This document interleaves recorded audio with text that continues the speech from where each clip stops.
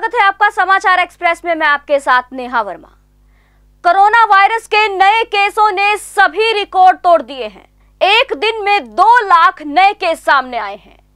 क्या corona virus से प्रभावित शहरों में अब लॉकडाउन ही आखिरी विकल्प बचा है? भारत में कोरोना वायरस के कहर ने अब तक के सभी रिकॉर्डों को ध्वस्त कर दिया है।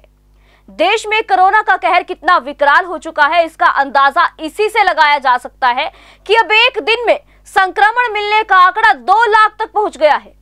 भारत में बुधवार को कोरोना वायरस के एक दिन में करीब दो लाख नए पॉजिटिव केस सामने आए हैं। वहीं मौत के मामलों में भी लगातार वृद्धि हो रही है।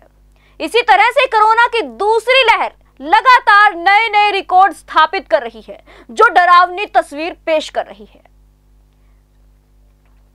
स्वास्थ्य मंत्रालय के मुताबिक देश में बुधवार रात तक संक्रमण के एक लाख निन्यानवे हज़ार पाँच सौ उनसठ नए मामले दर्ज किए गए।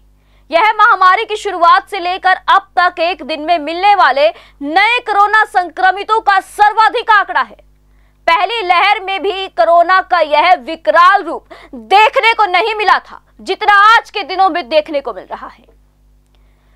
केंद्रीय स्वास्थ्य मंत्रालय के मुताबिक इस अवधि में एक लोगों की मौत हो गई। अब तक के कुल संक्रमितों की संख्या बढ़कर एक करोड़ चालीस लाख सत्तर हज़ार तीन सौ हो गई है। कोरोना से पीड़ित लोगों के ठीक होने की दर और गिरकर नवासी पॉइंट इक्यावन प्रतिशत रह गई है। आंकड़ों पर गौर किया जाए तो महामारी से मरने वालों की कुल संख्या एक लाख तिहत्तर हज़ार एक सौ बावन हो गई है। उपचाराधीन लोगों की संख्या भी बढ़कर तेरह लाख पैंसठ हज़ार सात सौ चार हो गई है। जो संक्रमण के कुल मामलों का 9.24 प्रतिशत है। अब तक एक करोड़ चौबीस लाख छब्बीस हज़ार एक सौ छियालीस कोरोना मरीज़ ठीक हो चुके हैं। कोरोना मृत्यु दर एक पॉइंट चौबीस प्रतिशत है।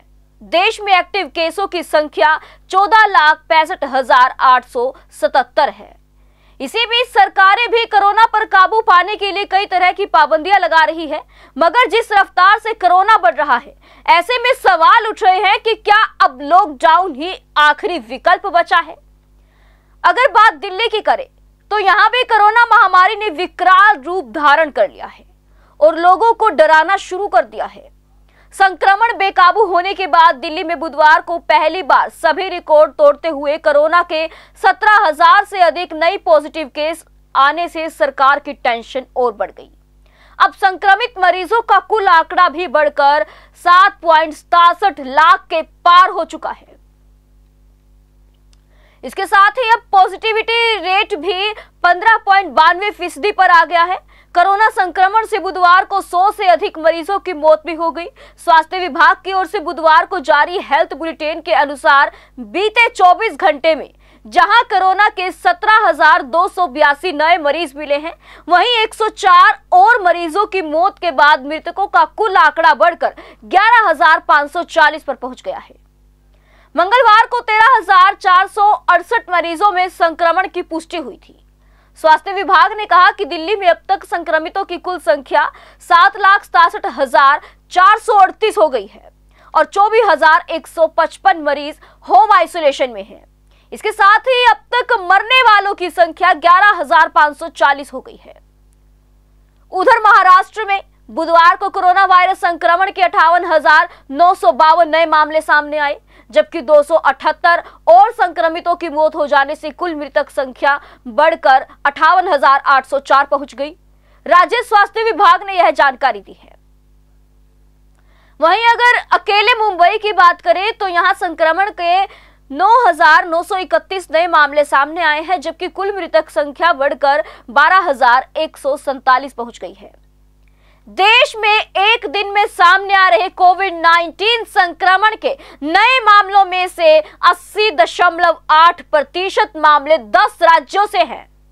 केंद्रीय स्वास्थ्य मंत्रालय के अनुसार महाराष्ट्र, उत्तर प्रदेश, छत्तीसगढ़, दिल्ली, कर्नाटक, तमिलनाडु, मध्य प्रदेश, गुजरात, राजस्थान और केरल में रोज़ाना मामले लगातार बढ़ रहे हैं। राष्ट्रीय राजधानी दिल्ली कोरोना वायरस से प्रभावित शहरों में सबसे ऊपर है।